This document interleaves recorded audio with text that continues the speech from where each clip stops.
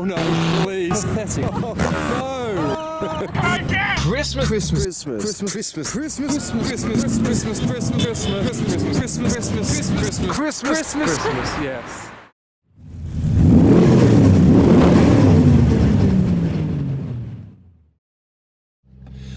Adam C, and welcome to a Christmassy morning at the Haynes Motor Museum for their breakfast meet. It is very early, cars are just starting to arrive, and later today I'm going to head somewhere else for some very Christmassy activities. But I have got a, a hat. Ooh.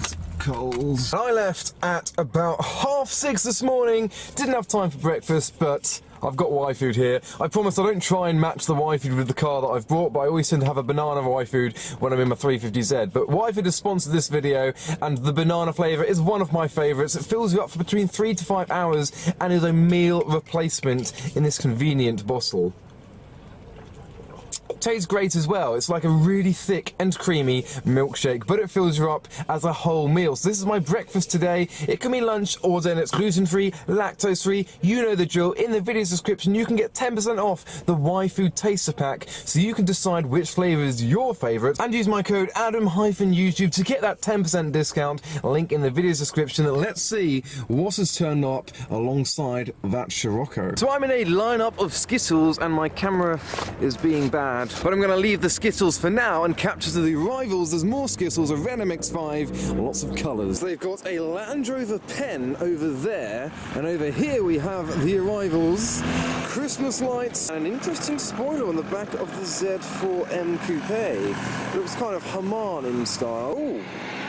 What kind of gearbox is in that Subaru? Sounds like a Bit of a straight cut gearbox, maybe? Too cold to think and function. Has he wrapped up his Land Rover for Christmas? Is that what's going on? It reminds me of something from the Italian job. I think that is wrapping paper. We've got Christmas lights on another Landy. I reckon he wrapped more of that than what's clear, and most of it came off on the way here. Let's have a gander. Yeah, it's definitely a failed attempt at keeping wrapping paper on. Obviously, I wrapped up my chaser when I revealed it. It took about two hours to do, but I was never going to drive with the wrapping paper. I tried wrapping up my MGB several years ago to try and drive with it. Only did the bonnet because it took ages and then it flew off literally a few yards down the road. Very windy. It is very windy. Oh my god! He's done a solid job with the Land Rover and the wrapping paper.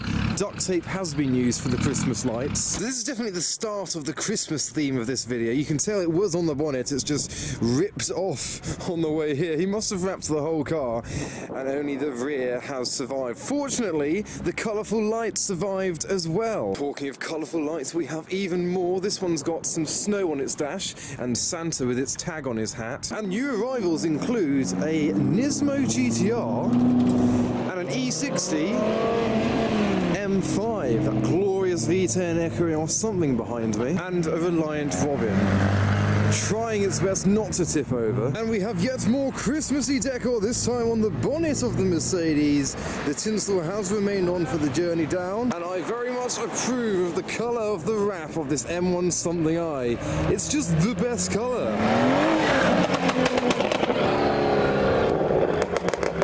Next up we have a Ford Crown Victoria Sheriff's car, imported from the States, out to drive with the sirens and lights on it seems. Next we have a Golf GTI, sounds like it's got VR6.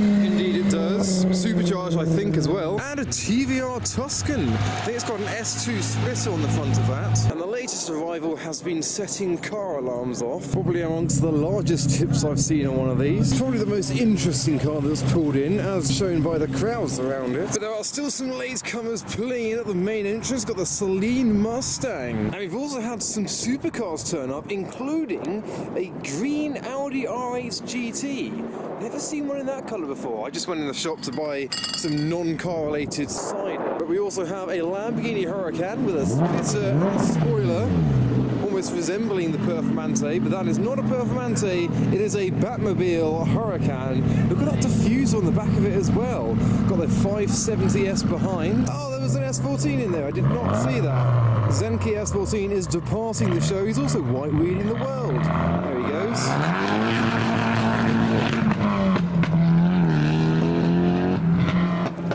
A car that I remember from last year when I was here for the December meet is this festive Fiat 500 wearing its Santa Claus hat with Santa Claus right opposite the festive Fiat. And here is the green Audi R8 GT that we saw pull in next to the Huracan and the Supra. One thing I've recently learned about these Supras is these vents don't vent. I was half expecting to see a can of Relentless on its roof.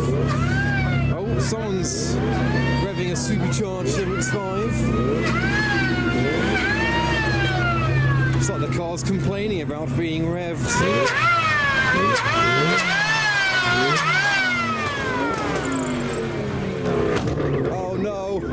Set some alarms off. But I was focused on the Crown Vic. I've never been in the back of a police car, probably for the better. I mean, is it open? I mean, this is a reverse arrest. Let's see what it's like. It's quite cramped, actually. I have the right to remain silent. So this is what it's like to be arrested in the States. You have a window, and in the front there, you've got all of the light controls. You've got bars, so you can't escape through the glass, although you might be able to through the back if you had some kind of special powers. And I presume this is slid shut to keep the crims quiet. I actually hope there's no child look on this.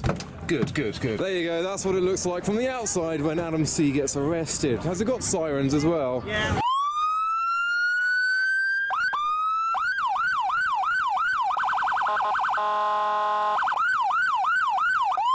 That was louder than the Focus. Whilst down the end we have the sizable hat on the small 500. On the small MX-5 we have not quite a sizable hat, but it kind of suits the car. But it seems too cold for most people. Cars are starting to leave. My phone keeps dying because of the coldness as well. More departures include the Nismo GTR, followed by the E60 M5. Sheriff car is departing as well.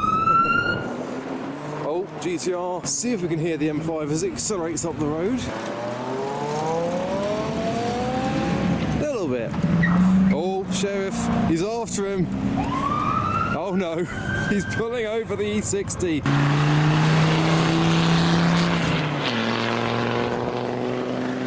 And the wrapping papers.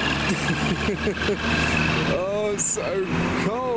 Too am going to leave the show and head off to one of the most exciting and unique events of the year, the Santa Run. So I'm going to go meet Chloe, hop in her new car, and then meet you in Reading. So welcome to the back seat of the fridge, Chloe's IQ. We're in traffic for the toy run, following some of the bikers that are doing the toy run, and we're going to watch the toy run. Don't follow the bikes. Tricycle. Hey. Oh, neons. Uh. So we're walking to the start of the Reading Toy Run. The marshals are getting ready to close the local roads so that hundreds of Santas can uh, ride their bikes. There's probably about 100 marshals as it is. So this car park is where all the three wheels motor bicycles are held, including the speedboats we saw last year. From memory, I think this was a Reliant Regal with a speedboat body instead of a car. And here is the main section. There's a Christmas tree, full size, on the back of a bike. Doesn't look the safest thing to ride. It actually has potential to be a Guinness World Record for the largest game of dominoes ever played. We need to get our move on and find a spot because they're all starting up, getting ready to go. Permission to go car spotting, M3, Focus RS.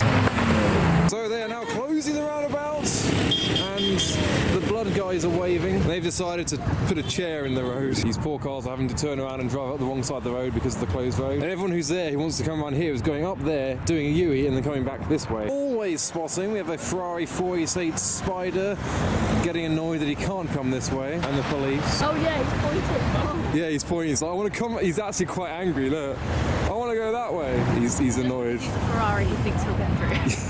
Go up there, do a Yuri, and come back round. But I just want to go this way. He's going to do a smoky burnout in in retaliation. No. They've had signs around. The middle class doesn't get his way. Oh, here's the police. Now they're telling people off further down for doing the U-turns because they're not allowed to. You see, revolutions in disgust of the rules. I think the stage is the first item to come. Yes, you've got a horn. Oh, that's a cute little tree. oh, here they all come. This is at the start of the run.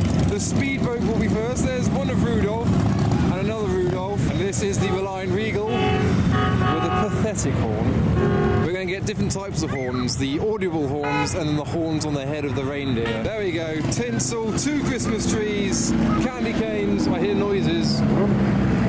Oh, someone's tinsel's fallen. We got the Messerschmitts. Look at him in the Messerschmitts. That is Santa Claus driving a Messerschmitt. Has he got a passenger? No, he's on his own. He's on his loans. Oh no, there is a passenger in the Messerschmitt. A lot of these tricycles have Volkswagen Beetle engines, so they're kind of car related. Is that like an old Morgan three-wheeler or something similar? That's a car. That's the most car-like bike we've had here so far it. The idea is they're delivering presents to children in need. The other location is like 10 miles away, and all these roads are closed. Maybe not quite 10 miles, but a long way. It's the season. Weird Christmas traditions are happening. Oh, it's Iron Man. A Christmas Iron. Thank you. Oh, wow. He's got a whole Christmas tree table on his bike. We have festive minion and a festive giraffe. Nothing says Christmas like giraffes. Festive purple man. Oh, look at the dog. The dog's along for the ride. yeah. It's a festive Superman. Merry Christmas. Vespa's going for the overtake. Wow. If this was a car event, there'd be donuts and burnouts and revolutions and hoonigans. But they're kind of more sensible on bikes in their onesies. The winter onesie. He's got neons on himself. Yeah, then just not dressed up at all. There's a penguin. The penguin's riding the bike. Santa's revving for us. Yeah. Festive teddy and a festive purple figure. Now we have a lineup of quad bikes. That one has been slammed. A slammed quad bike. There's a snowman wearing a lit up top hat. The whole snowman has been lit up as well as the bike. There's another festive minion. It's a um, what's his name? Potato head! Potato head. There's a chipmunk. I think. I love how the Ferrari hasn't got far at all. He's still just up there, and it's been like 10 minutes. He's he wants to turn that way so we can come this way, and he can't at all. Got a Ferrari so he thinks he can get through. One of the Christmas trees coming. It's probably only a four foot tree, but it looks a lot taller because it's on the back of the bike. It's quite tall. There's a, a festive dog in the air. Something else has fallen off of the road. I think it's a Christmas cracker. Yeah, traffic's all the way up to the roundabout. Even more traditional Christmas minions on their bikes. That's an interesting vehicle. Here comes Santa with his robe blowing in the wind. Ho ho ho. Christmas Mike and Sulley. Oh no! Oh, Someone's gonna have to work out how to stop them because. Oh! Oh dear! Okay, he's going that way. He just wants to join the convoy, so he put his lights on. He's gonna have a tough time overtaking everyone. Ferrari is still there. Oh, the ambulance is going in. Maybe the dominoes effect did happen. I think they've briefly stopped the bike so the ambulance can go inside. Does that mean they're gonna let the Ferrari go? He's running like it's an emergency. Run away from the Skoda! Attack of the Skoda. Keep it close, Jeff! Keep it close! Well, that was a momentary lapse. Now we're back to bikes. I like that one. Do you reckon his wife told him off for stealing it from the living room? Mr. Ferrari man is almost 20 minutes late for his appointment. Nice beard. He could have dressed up as Santa. This guy's been doing wheelies and now he's delivering sweets. Littering. Lock him up. Yeah, Christmas turkeys. It's the Grinch. What on earth is this coming this way? It's a turkey. This is what mothers around the country are going to be following that, trying to slaughter it for their family. The largest turkey the. There's a Christmas Yoda. Do we, we let the Ferrari go now? I'm expecting a smoky burnout, sliding around the corner. We can examine the faces of the annoyed drivers who've been sat waiting for 20 minutes. Oh, here comes the Ferrari. He's definitely very late for his meeting now. I want to see launch control, little slide maybe, 0 to 60. They've bought themselves a bench. Well done. Oh, he's sedate and slow. He's had enough time to think about life, it, and the number 42. But from a very cold and Christmassy day, that was pretty much that. Starting off at the Haynes Motor Museum and then on to the Reading Toy Run. Chloe wants me to say Merry Christmas to you all. I think that's what you were mouthing. So go follow me on Instagram for the updates, highlights, and pictures that I take at these meets, and hit that bell when you subscribe to be notified for the 2023 batch of videos. But for now, thanks for watching. Or, or Merry Christmas, yes.